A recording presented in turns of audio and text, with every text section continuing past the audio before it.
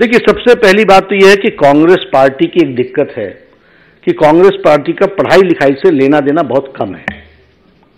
दूर दूर का रिश्ता नहीं है। कुछ जानते नहीं है।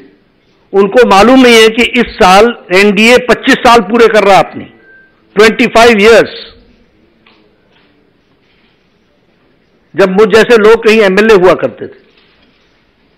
आज 25 साल पूरे हो गए।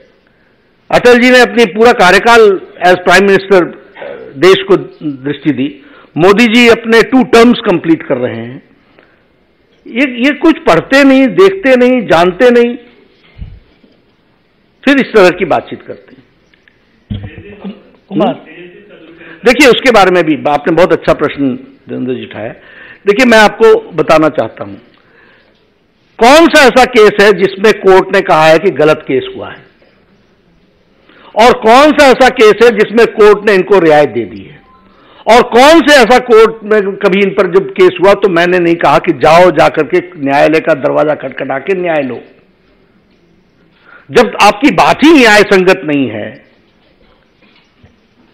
तो विक्टिम कार्ड खेलना, बात को बात को घुमाना, इधर से उधर की बात करना। नेशनल हेराल्ड का केस हमने किया क्या? बेल पर है कि नहीं है? The son and the mother is it not a fact ये पढ़े लिखे लोग बार बार उनको उनको, उनके दिमाग में डालने की ज़रूरत है क्या? कौन से ऐसे लोग हैं जो जेल से बाहर आ सकते हैं और वो जेल के अंदर डाले हुए हैं?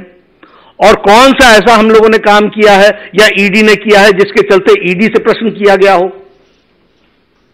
ये डेमोक्रेटिक कंट्री है this is a democratic country everybody has got a right these are independent agencies जब तुम जीत जाते हो तो ईसीआई पर बोलते नहीं हो जब हार जाते हो तो इलेक्ट्रॉनिक में आ, मशीन पर चर्चा करने लगते हो। और आप बार बार हमसे प्रश्न खड़ा करते हो जैसे हम ही कटघरे में खड़े होने के लिए हैं।